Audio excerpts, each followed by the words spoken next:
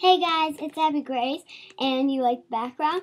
Anyways, I am going to show you Saige's Halloween costume, and she's a superhero, so that's why the background is the sky. So, um, she is Superwoman.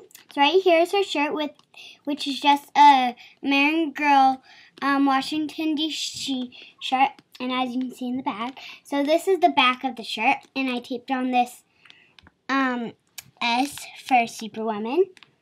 And then she has a blue skirt, and then which is from a Bitty Baby set. And then she has her riding Saige's riding boots, and then she has a piece of felt that is clipped. show you, clipped on on her shirt, and I thought Saige looks kind of like Superwoman, so she'd be good. Yeah, um, I'm going to show you all four of my dolls' costumes, but in another video. So thanks for watching this video. Bye!